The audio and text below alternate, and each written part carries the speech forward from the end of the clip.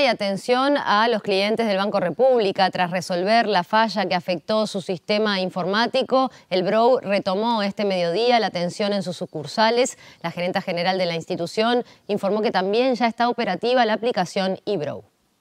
El banco tiene un, sistema central, eh, tiene varios sistemas colaterales que atienden determinados servicios, como Ibro, como los cajeros automáticos, y tiene una gran base de datos que es donde están los datos que utilizan todos esos sistemas, es decir, datos de, clientes, de saldos, de operaciones, y esa base de datos es una, tiene un volumen muy importante, y bueno, tuvimos un problema operativo de funcionamiento de esa base de datos, y eso fue lo que generó la indisponibilidad del día de ayer.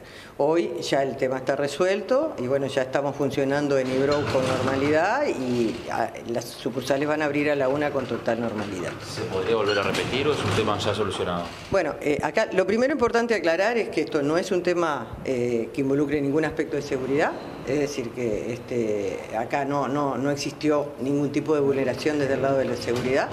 Y lo otro es que los datos y los saldos de los clientes no tienen ninguna variación. Es decir, este, los datos están tal cual estaban eh, el domingo en la tarde. Es decir, acá no va a haber ninguna modificación, ningún cambio en, los datos. Eh, una vez resuelto el problema, ahora comenzamos el eh, análisis forense de qué es lo que pasó para tomar las medidas necesarias para que esto no se vuelva a repetir.